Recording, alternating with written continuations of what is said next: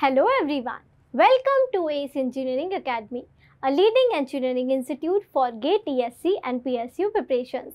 This video is all about a new job opportunity for you all by DRDO, that is Defense Research and Development Organization. They're inviting application from from Recruitment and Assessment Center to the post of Scientist B. Engineering background candidates can apply for this recruitment. This recruitment is happening for total 181 vacancies. Candidates who are from above mentioned disciplines are eligible to apply. Now let's have a look at essential educational qualification requirements for this recruitment. Candidate need to have degree in engineering from a well-recognized university or institute on regular basis.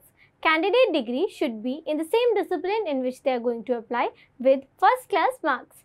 Along with that, candidate also need to have valid GATE scorecard. Now let's talk about age limit requirements for this recruitment. Candidate upper age limit should not be more than 28 years for general and EWS category candidate. It should not be more than 31 years for OBC category and it should not be more than 33 years for SC and ST category candidates. Now let's have a look at selection process of this recruitment. Candidate selection is based on two parameters that is GATE scorecard followed by personal interview. Weightage given to GATE scorecard is 80% and to personal interview is 20%. Candidate need to secure minimum qualifying percentage marks in personal interview. For unreserved category it is 70% and for reserved category it is 60% mark. Now let's have a look at remuneration and pay scale part. Candidate will be appointed as per 7 CPC level 10 and their basic pay is going to be 56,100 rupees per month. Now let's have a look at mode of application and the mode of application for this recruitment is online. Candidate need to visit official website and fill an online application form. As of now, registration link is not yet open.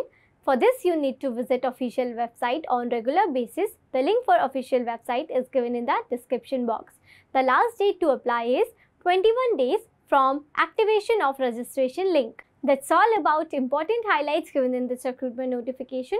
If you want to view detailed advertisement, the link is available in the description box. If you like this video, do hit the like button and for regular update on latest job notifications and other informative videos like this, do not forget to subscribe our channel and press the bell icon. Thanks for watching. Keep learning, keep watching, keep smiling.